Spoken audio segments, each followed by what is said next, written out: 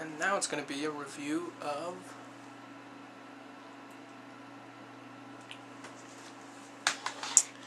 So Fear 2 Project Origin. The um, it, it basically takes everything the first was and just improves wherever yep it improves everything basically. It's um it's very addictive it's fast paced it's fun it's very very exciting and thrilling. Um, the the graphics are much much better um, there's this um, um, you have like uh, a computer kind of thing, and it's it's all in these glasses that they wear, um, you know, like Ghosts of Mars, basically. And you know, if um, like if you kill someone close to you, or if you get sometimes if you get hurt yourself, like blood stains will splatter up onto it, and if you're you know outside in the rain, raindrops will get on it, and very very uh, well done. Uh, the, and the, the, the engine allows for much more uh, detailed, um, much more detailed and photorealistic, like faces and you know the blood and guts are much more um, believable. The voice acting is excellent. Um, every single character is well written, credible, you know, psychologically accurate, and you're uh, now a, a member of a, a different unit and um, and I, I think they're um, a different. I, I don't think they're, you know, the the Fear organization. It's it's some special forces military thing. And you actually your your character actually gets a name. He still doesn't get. He still doesn't get a personality or anything, but you know, it's very um, focused on action, but it actually um, it's you're not only battling you know it's not only these John Woo like shootouts you know that that is emphasized somewhat but I'll get to that. It's not only these um, gunfights with you know soldiers and such.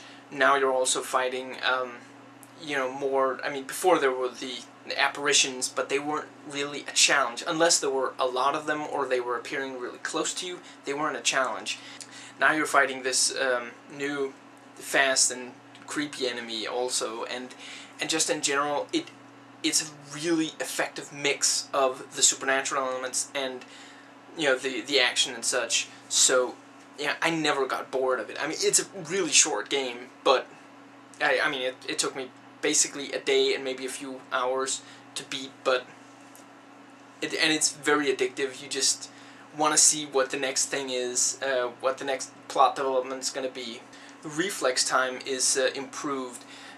You, um, you know, you finally don't have to be standing still to uh, activate it, and it, um, in addition to slowing down time, which also seems to help you more this time around, it also it gives this hue to um, to your enemies. So you know they're like um, you know, they almost emit an aura of sorts. So they're much easier to spot. And, um, you know, it just, it's a lot more. And also adding to the John Woo um, aspect of it, you can now create your own cover. You can, you know, slide a desk or tip over a table and such, and that'll provide you some cover. Um, and you can do that with, you know, most uh, objects where it makes sense. You know, you can't knock over a refrigerator or um, um, you know, a Coke machine or something. It ignores the events of both of the expansion packs. So, you know, what happened in the first game has happened in the continuity of the second. Um, it, it starts right before the end of uh, the first of them, and um, and and it moves the plot further, and it's very exciting, um, very engaging and thrilling mystery and the ending is pretty interesting, and um, there are memorable battles along the way. Um, the the weapon the weapon loadout is very good, and you also get to drive this like mech kind of. I, I think they call it an, an elite powered suit, and it's got like uh, twin Gatling Gatling guns and um, and it fires missiles also. So that's very cool. The sound design is again uh, amazing. The the atmosphere is extremely creepy. Um, I mean, I would rank it at around the same level as Silent Hill. You know, it's it's really that good. So yeah, all in all, it's definitely worth trying if you've um, you know if if you like the basic concept and if you like the first one, but it is very very short. You know, the single player portion, so if you're not sure, you might want to try renting it first.